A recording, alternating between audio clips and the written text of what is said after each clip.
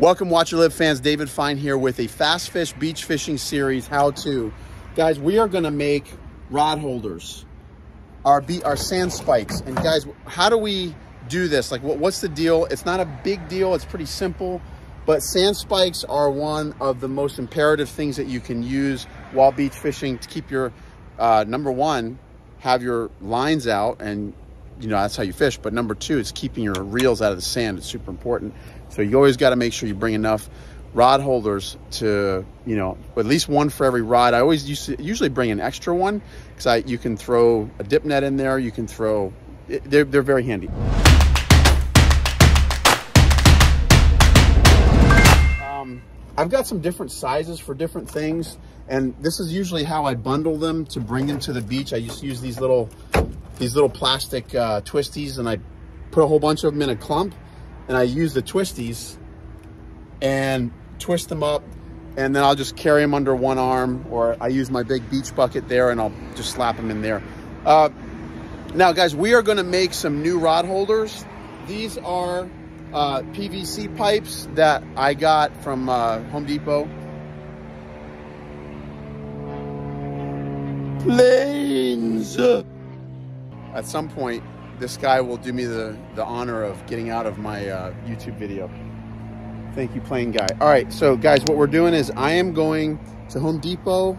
I, I went to Home Depot. I got some heavy duty two inch PVC. So uh, that means that the, the space here, the, the, the opening is two inches, okay? And reason being, because because we use some really heavy rods with like really thick rod butts.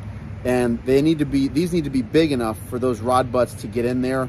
Uh, what I'll wind up doing I'll wind up sanding these edges down a little bit around the ends so that they don't cut into our rod butts when you know when their rods are in the in the rod holders. These are 10 foot sections and I'm gonna make it super easy for you guys on how to make rod holders I bought two rod, uh, two PVC pipes at 10 foot sections. And guys, what I'm doing is I'm making, out of one of these, I'll make, I'll just cut it in half and make two, um, I'll make two rod holders out of one 10 foot piece. And so what I'll do is here, I've got my little, my little tree.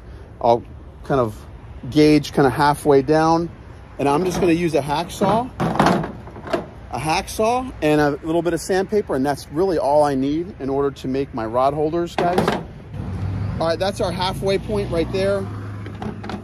So guys what I'm gonna do is I'm actually just gonna cut this at an angle halfway down and I'm gonna make a little mark okay? And I'm gonna cut this at an angle. What's up bro? And guys this angle will be the angle that I need to uh, drive the sand spike into the sand.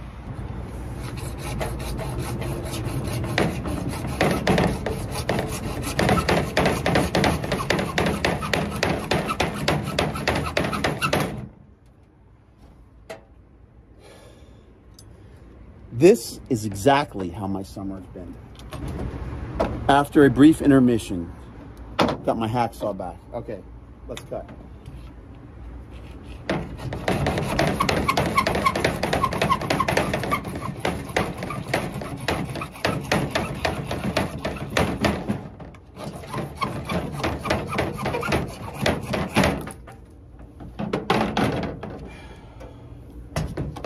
There we go, guys. That's the angle you want. This will allow you to drive it into the sand. I have a rubber mallet um, and we can drive them into the sand just like that. I've got two rod holders now, and now all I just need to do is get my sandpaper and uh, a little bit of sandpaper and smooth out the edges right here on the top, and then I'll be ready to fish. All right, we got our sand spikes, guys. Uh, dead low tide. It's gonna start coming in here soon. Uh, so guys, I got the sharp end, put it in dirt. I have a rubber mallet. So, so what I do is like, I like to have it angled I always bring a rubber mallet with me, guys, because sometimes the beach sand on certain beaches is really hard. I always like to angle the, the sand spike out towards the ocean just a little bit to give us a little bit of a slant. And I can, you know, you can hammer it in pretty good. Make sure you hammer it in really, really good. Okay? The kids are catching bait. What are you guys trying to catch? Nothing. Come on, give me that net. Let's go get some poachers. Come on, dude. Do you see poachers? Lorenzo, we got about an hour and a half to fish. Okay. All right, guys, another method. If you don't have a rubber mallet and the sand is soft, now this this method might not be the most flattering for some guys. However, um, you stick it in wherever in the sand, wherever you want. Make sure there's a slight angle, and then make sure that what you do is you can just create a suction thing where you suck all the air out. Uh, Eric, show us how we do this, son. Let's find a soft spot. Dude, soft spot. Whoa. Now, how, how did you do that? You, Um, you just, Someone just create a uh, vacuum, right? I guess so. Someone showed me that this. Maybe George saw it on YouTube. All right, let me. It works. It works. All right, dude, do do that one more time. All right, Dude Perdic's gonna do the same thing. Watch how far this five foot sand spike goes down. You gotta find a soft spot. You gotta find a soft spot. No rocks, no coral, and then kind of push it in a little bit. But then once you once you create the vacuum, Big. Oh, it's not. You just gotta use your hands. There you go. There you go. Boom. Create the vacuum and suck. And look how deep that thing goes down. Perdic. Bada bing. That's it. Angle it a little bit out. Yeah, that's good. That went down about a foot and a half. Yep. Beautiful. Give it a little pound. There you go. All right, we're good. We're ready to fish.